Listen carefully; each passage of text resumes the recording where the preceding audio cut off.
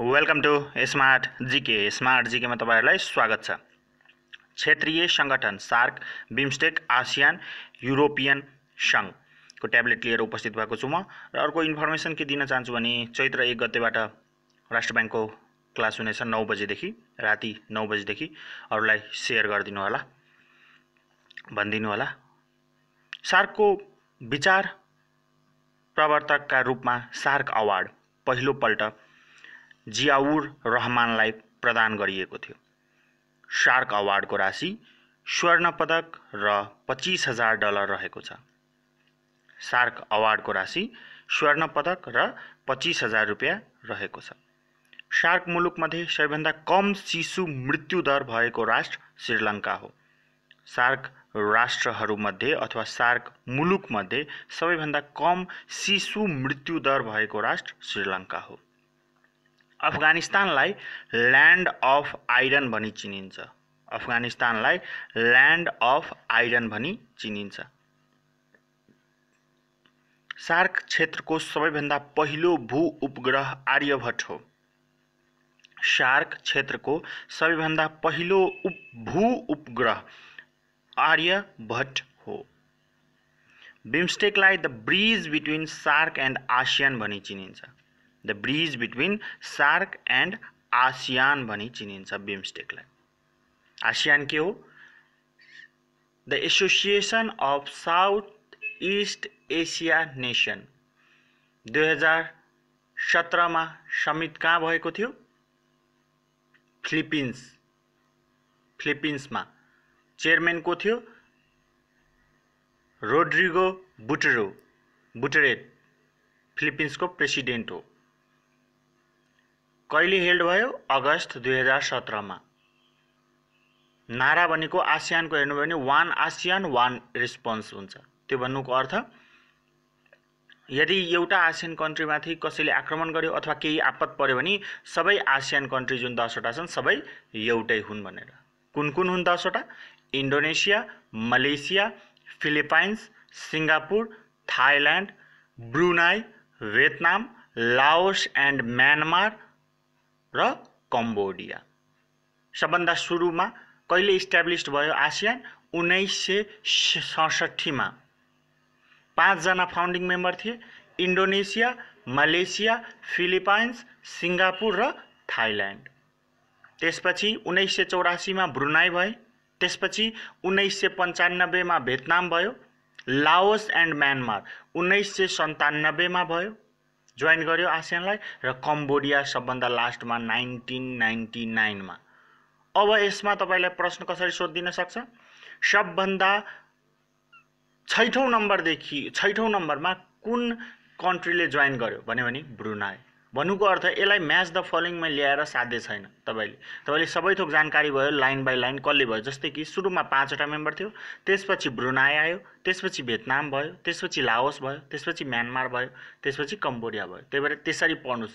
Match the following पढ्ने प्रयास नगर्नुहोस्। म्याच द फलोइङ पढ्नु पढेर जानुभयो भने कन्फर्म बिगारेर आउनुहुन्छ तर सबै इन्फर्मेसन लिएर जानुभयो भने हरेक म्याच द फलोइङ मिलाउनुहुन्छ। त्यो लेभल टू फलानो चिलानो गरेर बस्नुभयो भने म ग्यारेन्टी दिन्छु बिगारेर ल्याउनुहुन्छ।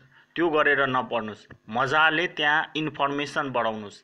इन्फर्मेसन बढाउनु भयो भने मात्र म्याच द फलोइङ मिलाउन सक्नुहुन्छ। म्याच द फलोइङ प्र्याक्टिस गरेर चाहिँ मिल्न सक्दैन। अब त्यसको लागि के के पढ्ने त?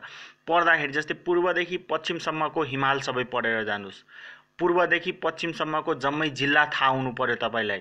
त्यो पनि सोधिदिन सक्छ जिल्लाहरू। पूर्वदेखि पश्चिमसम्म दिएको जिल्लाहरूमध्ये पूर्वदेखि पश्चिमसम्मको मिलाउनुहोस् भनेर। पहाडहरू मिलाउनुहोस् भनिदिन्छ नदीहरू मिलाउनुहोस् भनिदिन्छ सहायक नदीहरू ठुलादेखि सानोसम्म मिलाउनु भनिदिन्छ। त्यही भएर सबै सहायक नदी थाहा हुनु पऱ्यो तिनवटा दिएको हुन्छ ठुलोदेखि सहायक नदी तिन मिलाउनुहोस् भनेर भन्छ। तपाईँले कुनै क्वेसनमा त्यो प्र्याक्टिस गर्नुभयो भने त्यहाँ तिनवटा नदी मात्र तपाईँले देख्नुहुन्छ। त्यसबाट तपाईँले तिनवटा नदी मात्र त्यही तिनवटा नदी फेरि रिपिट सोध्ला राष्ट्र ब्याङ्क लोकसेवा आयोगले भन्ने त छैन नि। त्यही भएर सबैको गर्नुहोस् जस्तै कि के सोध्न सक्छ अर्को देशहरू सबैभन्दा ठुलो जनसङ्ख्या भएको देशबाट तलसम्मको क्रम मिलाएर लेख्नुहोस्। अथवा सब सार्क कन्ट्रीमा सबभन्दा ठुलोदेखि सानोसम्म जनसङ्ख्याले क्षेत्र क्षेत्रफलले भनेपछि जनसङ्ख्याकोबाट पनि ठुलोदेखि सानोसम्म थाहा हुनु पऱ्यो र क्षेत्रफलको हिसाबले पनि ठुलोदेखि सानोसम्म थाहा हुनु पऱ्यो त्यस्तै ब्याङ्कको स्थापनादेखि। सोध्न सक्छ। ब्याङ्कको स्थापनादेखि ठुलोदेखि सानोसम्ममा लेख्नुहोस् त निम्न दिएका मध्ये ठुलोदेखि सानो लेख्नुहोस् भनेपछि हामीलाई थाहा हुनु पऱ्यो त्यसपछि अर्को के दिन सक्छ? माथि सुरुमा भएकोदेखि तलसम्म लेख्नुहोस्। भन्देला सती प्रथा उन्मूलन नेपाल ब्याङ्क लिमिटेडको स्थापना राष्ट्र ब्याङ्कको स्थापना र लोकसेवा आयोगको स्थापना। भनेपछि कुन हुन्छ सबभन्दा पहिला? सती प्रथा उन्नाइस सय सतहत्तरीमा। यो म्याच द फलोइङ पढेर सकिन्छ? सकिँदैन। तपाईँको ज्ञान बढ्नु पऱ्यो सती प्रथा सबभन्दा पहिला भएको थियो उन्मुण्डन उन्नाइस सय सतहत्तरीमा। चन्द्र शमशेरले गरेका थिए। सुरुमा कसले प्रयास गरेको थियो। जङ्गबहादुर राणाले उन्नाइस सय दसमा प्रयास गरेको थियो।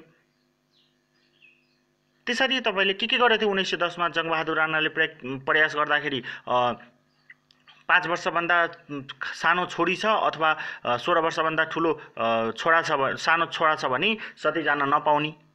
त्यस्ता त्यस्ता किसिमहरू तपाईँले सम्झिनु भयो भने त्यसपछि राष्ट्र ब्याङ्कको कहिले भयो तपाईँलाई थाहा भयो भने अनि पो जोडा मिलाउन सकिन्छ। त्यही भएर ज्ञान बढाउनुहोस्। अहिले पनि अब आजदेखि मजाले सबै लाइन बाई लाइन पढ्नु भयो नि हुन्छ। कि अब जम्मै जानकारी भइसक्यो होला।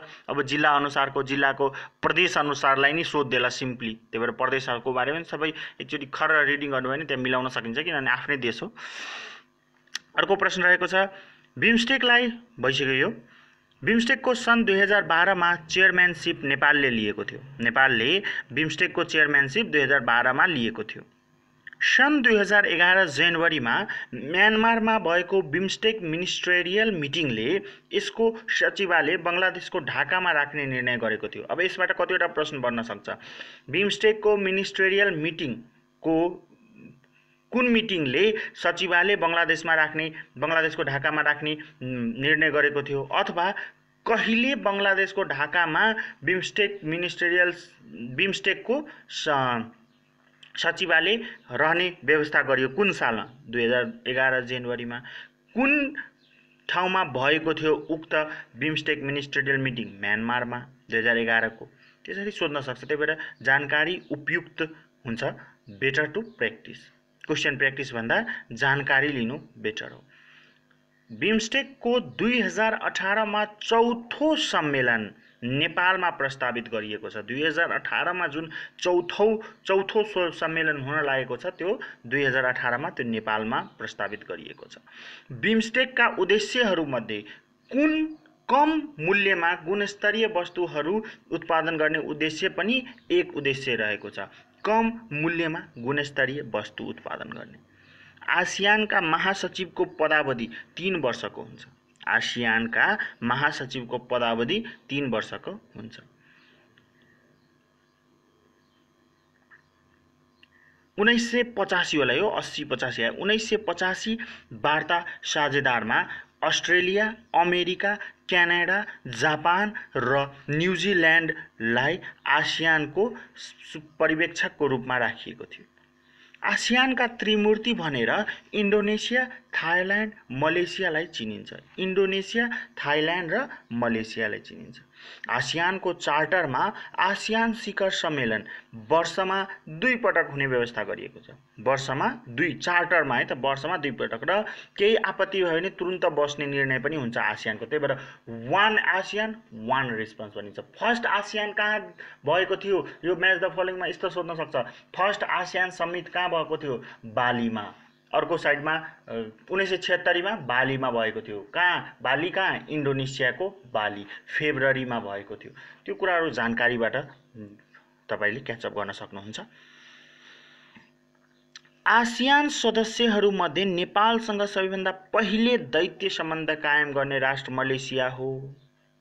अब यसमा क्वेसन हुन्छ सेकेन्ड लेभल क्वेसन भन्छन् मान्छेले। आसियान सदस्यहरूमध्ये नेपालसँग सबैभन्दा पहिलो दैत्य सम्बन्ध राख्ने राष्ट्र कम्बोडिया हो लेख्देला र भन्देला त्यहाँ। अनि दुई चारवटा यस्तै लेखेर तीमध्ये कुन सही हुन्? अब त्यो प्र्याक्टिस गरेर साध्य हुन्न। तपाईँलाई थाहा छ आसियान सदस्य राष्ट्रहरूमध्ये मलेसियासँग नेपालको पहिलो दैत्य सम्बन्ध कायम भएको थियो भने जानकारी प्राप्त छ भने तपाईँले त्यो एन्सर सजिलै गर्न सक्नुहुन्छ। ज्ञान बढाउनुहोस्। प्र्याक्टिस कम गर्नु भए पनि हुन्छ ज्ञान बढी हुनु पऱ्यो। हालसम्म युरो मुद्रा उन्नाइस देशमा लागु भएको छ भने उन्नाइसौँ देश लिथुनिया हो। हालसम्म उन्नाइसवटा देशमा युरो मुद्रा लागेको छ। एउटै मुद्रा प्रचलनमा ल्याउने एउटै मुद्रा काम चलाउने पुरै युरोपियन कन्ट्रीमा। युरोपियन युनियनमा पछि थप भएका छ राष्ट्रहरू। डेनमार्क आइसल्या आयरल्यान्ड बेलायत ग्रिस स्पेन र पोर्चुगललाई आउटर सिक्स भनेर चिनिन्छ। आउटर सिक्स भनेर कुन कुन देशलाई चिनिन्छ? बेलायत ग्रिस स्पेन पोर्चुगल डेनमार्क र आयरल्यान्डलाई। किन आउटर सिक्स भनिन्छ? युरोपियन युनियनमा पछि थप भएका हुन् यिनीहरू। स्ट्याबिलाइजेसन अफ एक्सपोर्ट्स स्ट्याब्स के स्ट्याब केसँग सम्बन्धित छ? निर्यातसँग सम्बन्धित छ।